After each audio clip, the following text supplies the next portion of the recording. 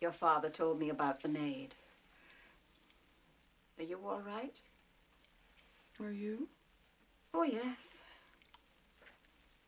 That was our third maid. I think it's wonderful he keeps trying. Mother. you are some old broad. Don't be disrespectful. I just hope it hasn't frightened you about marriage. Everything frightens me about marriage, Mother. Well, it must be frightening. At least in my day, we knew what the roles were. But if you love each other, that's all that matters. And marriage isn't to blame for what happened this afternoon with your father. That was just old age. Father Time has a way of just beating the shit out of us.